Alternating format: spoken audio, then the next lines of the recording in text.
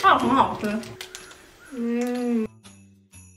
Hello，大家好，我是吃货小分队的周易，我是 Stephanie。马上就进入十二月份了，就很快圣诞节就要到了。那想说大家圣诞礼物有没有准备好呢？如果没有准备好的话，我今天有一样来自 Lady M 的冬季梦幻圣诞礼盒，袋子小卡片。哇，它还做的很细心啊，像每一个那个热量表，它都有提供给我们，好精致哦！哇塞，好可爱的感觉。那它其实呢是一个 Advent Calendar，因为马上我们就是到十二月份了，每天你可以开一个小抽屉，然后里面有一个小惊喜。我现在可以全都开开来吗？你可以稍等一下。对，这也是他们今年第一次出这个 Advent Calendar，这里面是有个水晶球，还可以把它拿起来。对对对对。因为我看着这是帝国大厦，我觉得这应该是纽约的一个雪景。纽约也是 Lady M 的老家嘛。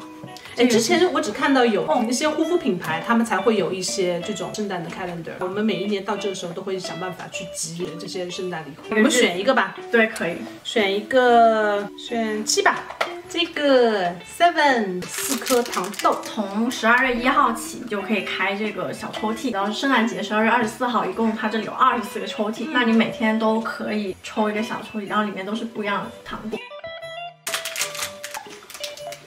它很好吃，这应该是 raspberry almond，不错，很香。它不是特别甜，不是特别甜，嗯不是特别甜。重要的事情要说三遍。那它一共有十二种口味的糖，然后它这张卡片上呢，这个抽屉里面十二种糖果的一个介绍。哦，它有个 teddy bear，sparkling teddy bear。哦，对，但不知道在哪个抽屉里，还不知道。有一些酸苹果啊，有一些野莓啊，还有一些就是有些软糖，然后糖豆、巧克力都有。相信每个人都能找到自己喜欢的那个味道。我觉得这样的一个圣诞礼盒还挺惊喜的，因为它第一颜色啊，就红配绿还是比较圣诞色，比较好看。就平时放放首饰啊，放放一些小的 stationery 啊，颜值和实用性，包括美食性，几大优点集于一身的一个圣诞礼盒。你要试哪个味道？为什么？为什么你要选酒？我九岁。哦，这个是什么味道？我们猜一下。我猜应该是柠檬味，觉得我觉得是可能骚，就是酸酸的，酸酸的。嗯，嗯，嗯，谢谢。